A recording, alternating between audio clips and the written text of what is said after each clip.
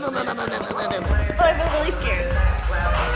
Oh! was right in the face. Big.